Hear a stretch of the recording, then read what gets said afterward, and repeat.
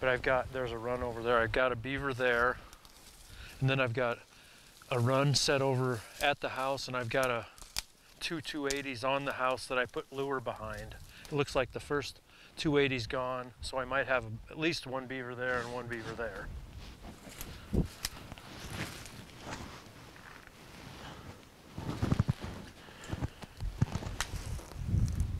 Mama, you can tell it's a female.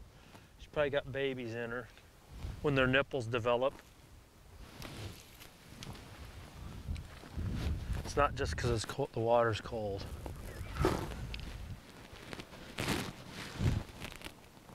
These Duke 330s are so strong when I first got them.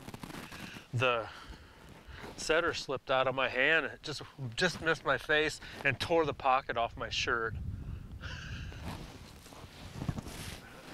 Oh, it was great. Livelihood. That, that, was much. I know. I'd hate to damage this. Probably have it insured. Yep. Yeah. Yeah. With the Lloyd's of London. That's a pretty big beaver.